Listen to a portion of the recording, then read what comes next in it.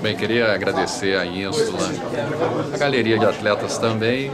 lógico que é o Bradesco por, por esse convite maravilhoso, essa oportunidade de conhecer a vida dos outros atletas também, do Diego, do Lars, bater um papo muito bacana, sendo bem conduzido aí pelo Bonfá também, foi, foi muito importante, até para o meu crescimento, não só como atleta, mas como ser humano também. Muito obrigado pela